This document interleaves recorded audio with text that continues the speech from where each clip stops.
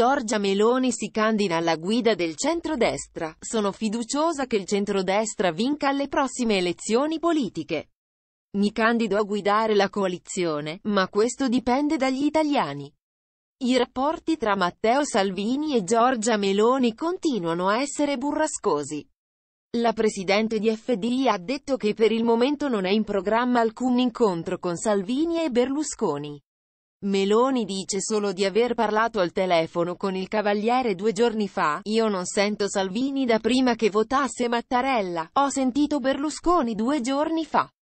Lui dice, stiamo uniti, ma per carità, solo che non si possono più scrivere accordi sulla sabbia, dice in un'intervista a 30 minuti al massimo, sul sito de La Stampa.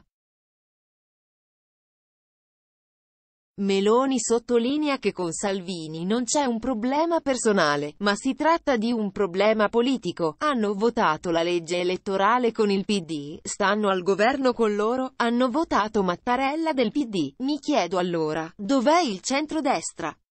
Le distanze tra Meloni e Salvini sono aumentate soprattutto a causa del voto per il Quirinale, che ha visto la rielezione di Sergio Mattarella.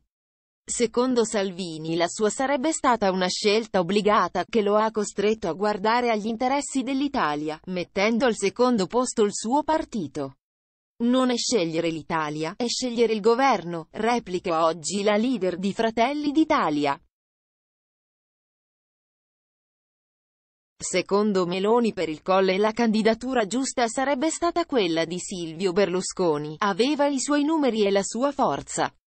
Per me poteva ricoprire tranquillamente quell'incarico, tutti gli italiani devono qualcosa a Berlusconi. Io personalmente poi faccio delle scelte non perché gli debba qualcosa ma perché ci credo. Ho fatto il ministro in quota AN, ho fondato FDI e non ho chiesto niente a nessuno. Quando mi sono candidata a sindaco di Roma l'unica volta che poteva fare campagna a mio favore ha scelto Marchini.